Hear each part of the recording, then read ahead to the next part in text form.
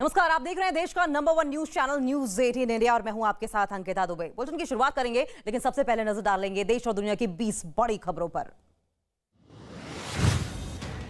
जम्मू कश्मीर में आतंकियों ने एक बार फिर टारगेट किलिंग को अंजाम दिया है। शोपिया के चौधरी गुंज इलाके में आतंकियों ने कश्मीरी पंडित को गोली मार दी।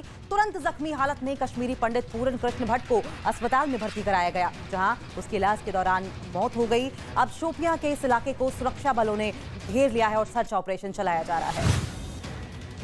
जम्मू कश्मीर में सेना ने एक बार फिर बड़ी आतंकी साजिश का पता लगाया। आतंकियों ने सोपोर के बांदीपोरा इलाके में एक बड़े ब्लास्ट की प्लानिंग की थी, जिसे सेना ने नाकाम कर दिया है। यहाँ पर सेना को 16 किलो बारूद वाली आईडी भी मिली थी, जिसे सेना के बम डिस्पोजल यूनिट ने ब्लास्ट करके तबाह कर दिया। तस्वीरों में आईडी में ब्लास्ट के बाद आसमान पर धुएँ का गुबार उठता दिखाई दे रहा है। केंद्रीय गृह मंत्री अमित शाह ने हिमाचल प्रदेश के सिरमौर ज़िले से विधानसभा चुनाव का शंखनाद किया। सिरमौर में हाथी आभार रैली में अमित शाह ने बीजेपी की चुनावी कैंपेन को शुरू किया। केंद्रीय गृह मंत्री अमित शाह ने ये कहा कि ये वीर भूमि है। पहला परमवीर चक्र हिमाचल के मेजर सोमनाथ शर्मा को मिला है। वहीं अमित शाह ने कांग्रेस पर भी जमकर निशाना साधा। उत्तर प्रदेश के बाराबंकी में बहने वाली सरयू नदी खतरे के निशान से ऊपर बह रही है। गाँव से लेकर शहर अब बाढ़ की चपेट में आ गए हैं। कई कॉलोनीज में बाढ़ का पानी घुस गया है। निचले इलाकों में रहने वाले लोगों को काफ़ी दिक्कतों का सामना करना पड़ रहा है। एक और जहाँ लोगों ने पलायन शुरू कर दिया है तो वहीं प्रशासन हर संभव मदद की कोशिश कर रहा है। वहीं उत्तर प्रदेश के गोंडा में भारी बारिश कहर बरपाने लगी है। पिछले कुछ दिनों से हुई बारिश की वजह से सरयू और घाघरा नदी में उफान आ गया है, जिससे हज़ारों लोग प्रभावित हुए हैं।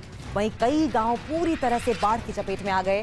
रास्ते में पानी भर जाने की वजह से लोगों को मुश्किलों का सामना करना पड़ रहा है। इसके साथ ही किसान धान की फ़सल बर्बाद होने की वजह से बेहद परेशान है। यूपी के मऊ में भारी बारिश की वजह से रिहायशी इलाके में पानी घुस गया। नदी का जलस्तर बढ़ने की वजह से निचले इलाके पूरी तरीके से पानी में डूब गए हैं। वहीं कई गाँव पूरी तरीके से बाढ़ की चपेट में आ गए। रास्ते में पानी भर जाने की वजह से लोगों को मुश्किलों का सामना करना पड़ रहा है। इसके साथ ही धान की फ़सल बर्बाद होने से किसानों की परेशानी भी अब बढ़ गई है। वहीं महाराष्ट्र के पंडरपुर में भारी बारिश की वजह से नदी और नालों में उफान आ गया है और इसी सैलाब के बीच लोग रास्ता पार करने को मजबूर है। एक मोटरसाइकिल सवार अपने दो बच्चों के साथ सड़क पार कर रहा था, तभी पानी की तेज धार आ गई और वो उसमें बहने लगा। गनीमत ये रही कि आसपास लोग मौजूद थे, जिन्होंने अपनी जान की परवाह न करते हुए किसी तरह मोटरसाइकिल सवार और बच्चे की जान बचा ली। यूपी के फिरोजाबाद में एक महिला ने ऑटो रिक्शा चालक की पिटाई कर दी। वीडियो सामने आया है जिसमें महिला भीड़ के बीच एक के बाद एक ऑटो रिक्शा चालक को थप्पड़ मारती दिखाई दे रही है।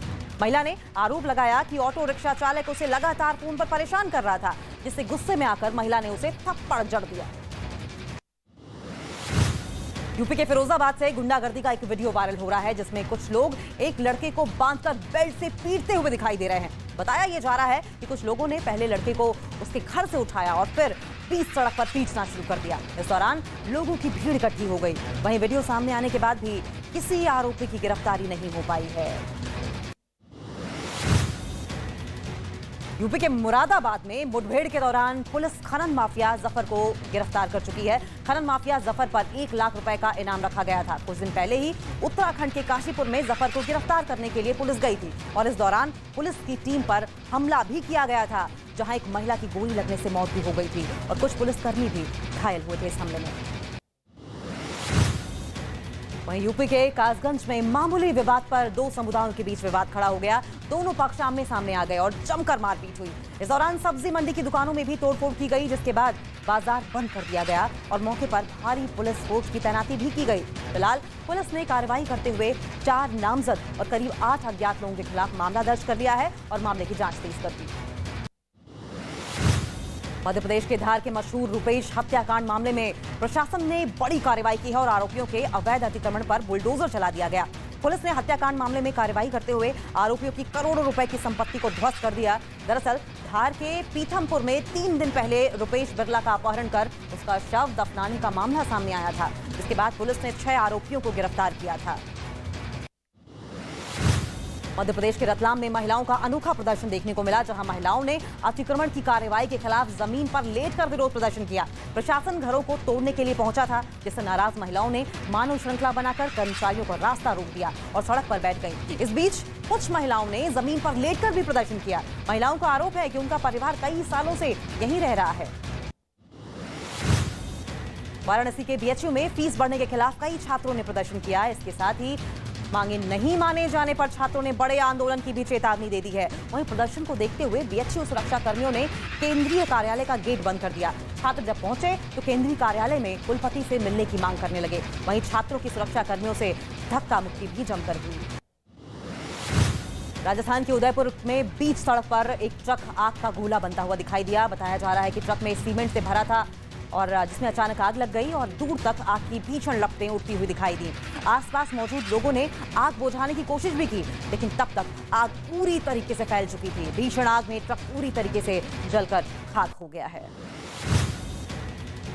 वाराणसी में गंगा प्रदूषण पर प्रशासन अब सख्त दिखाई देने लगा है। दीपावली तक सभी नाव सीएनजी युक्त नहीं हुए तो उनका लाइसेंस रद्द कर दिया जाएगा। दरअसल नगर निगम और जिला प्रशासन पिछले एक साल से गंगा में चल रही नावों को सीएनजी युक्त करवाने के लिए एडवाइजरी जारी किए हुए है। लेकिन अब तक सभी नाव में ये सुविधा नहीं देखी जा रही है, जिसके बाद प्रशासन ने एक कड़ा फैसला लिया है।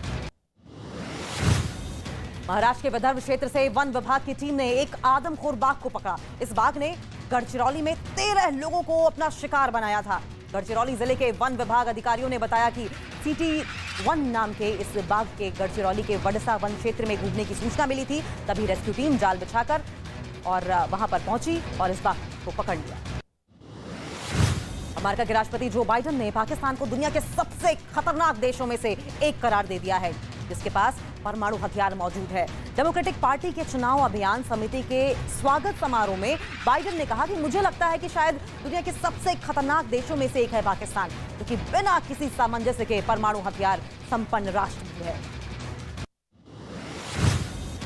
ईरान में हिजाब के खिलाफ प्रदर्शन की जाँच चिली तक पहुँच गई है। यहाँ ईरान के लोगों ने अपने पासपोर्ट को जलाकर विरोध प्रदर्शन किया। सेंटियागो में ईरान के दूतावास के बाहर लोग इकट्ठा हुए थे। कुछ लोगों ने अपने चेहरे पर महसा अमीनी की फ़ोटो भी लगाई थी। फ़ोटो वाला मास्क लगाकर विरोध जताया। ईरान में 16 सितंबर को महसा अमीनी की मौत हो गई थी। वहीं तुर्की में कोयला खादान में हुए धमाके के बाद अफरा तफरी मच गई। बताया गया कि हादसे के वक्त इस कोयला खादान में करीब 110 लोग काम कर रहे थे। धमाके के तुरंत बाद रेस्क्यू ऑपरेशन शुरू किया गया। लोगों को बचाने का काम पूरी रात चलता रहा। जानकारी के मुताबिक 50 वर्कर्स 100 मीटर नीचे फंसे हुए थे तो पाँच लोगों को 350 मीटर की गहराई से रेस्क्यू किया गया।